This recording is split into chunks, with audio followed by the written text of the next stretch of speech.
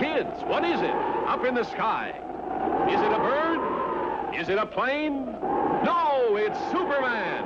Yes, sir, kids, a real flying Superman that can be yours. Looks just like Superman himself. He's made of tough blue plastic and has a bright red cape that fits on his shoulders. With your flying Superman, you get a powerful launcher to send him sky high, zooming through space just like Superman does in his adventures. Now, you'll want to be one of the first to have your own flying Superman, so listen carefully, because here's all you do to get yours.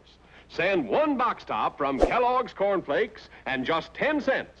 That's one box top and just 10 cents to Flying Superman, Box 330, Battle Creek, Michigan.